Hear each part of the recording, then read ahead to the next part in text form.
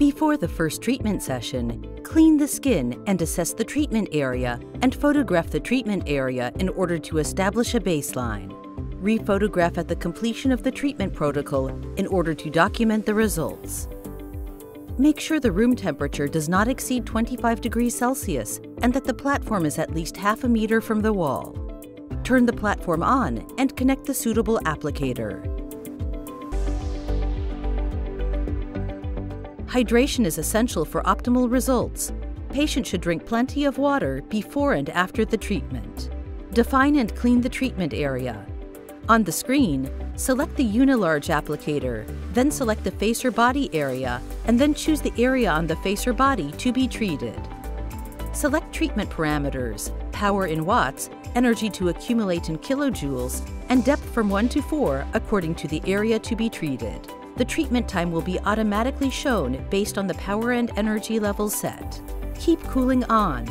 Press the standby button to start treatment. Put mineral oil on the skin. Place the applicator on the skin perpendicular and in full contact with the skin. Then press the foot switch or trigger and move around the area using slow in-motion technique. The recommended power is shown in the table.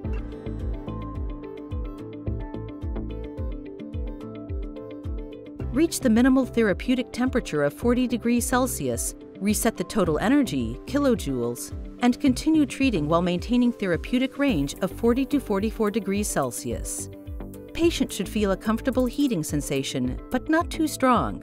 Temperature of 40 to 44 degrees Celsius measured on the skin.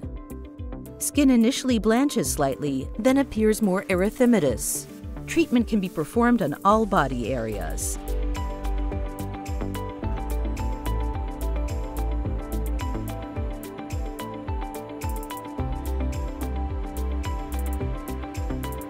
Post-treatment, wipe the mineral oil from the skin and the applicator.